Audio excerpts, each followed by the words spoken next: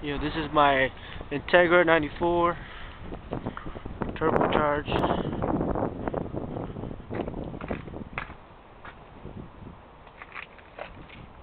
I know it kind of bubbly up there, but